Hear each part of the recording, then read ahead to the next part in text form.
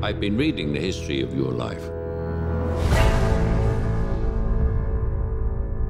And I've written my fair share of it. But your story has no end.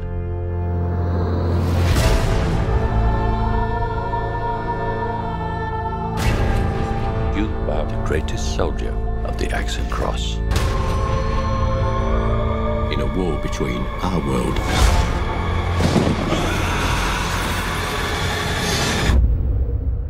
and the next.